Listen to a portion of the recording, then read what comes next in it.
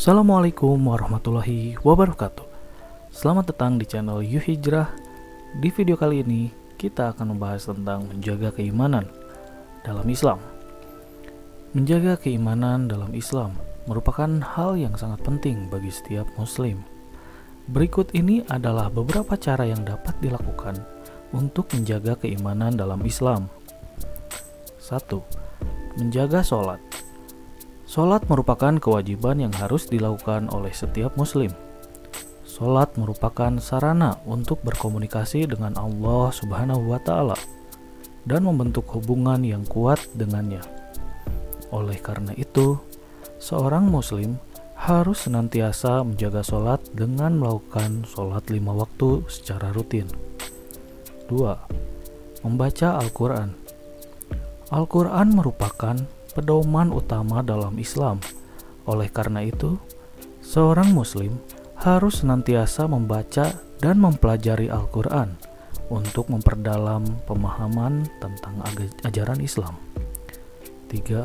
Berdoa Berdoa merupakan sarana untuk berkomunikasi langsung dengan Allah Subhanahu wa Ta'ala. Seorang Muslim harus senantiasa berdoa untuk memohon petunjuk kekuatan, dan keberkahan dari Allah Subhanahu wa taala. 4. Meningkatkan ilmu agama.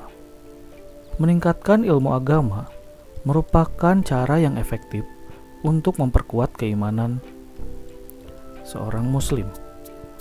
Seorang muslim harus senantiasa belajar tentang ajaran Islam dan menerapkannya dalam kehidupan sehari-hari. 5 menjauhi dosa.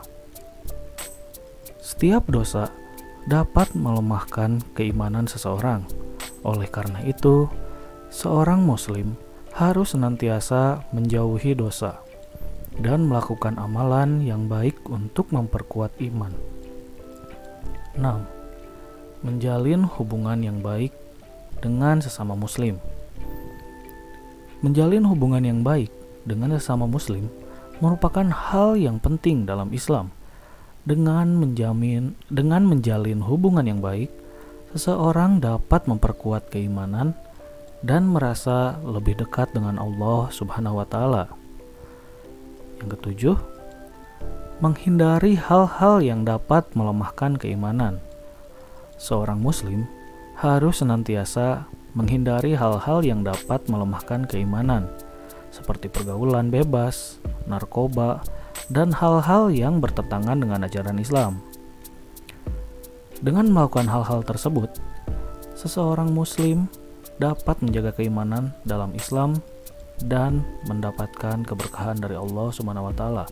Semoga kita dapat menjalankan semua ajaran ini agar keimanan kita uh, menjadi sesuatu yang baik ke depannya dan tidak tergoyahkan oleh apa pun. Jangan lupa klik like, komen, dan juga subscribe pada channel ini agar tidak ketinggalan video-video berikutnya. Semoga dapat bermanfaat.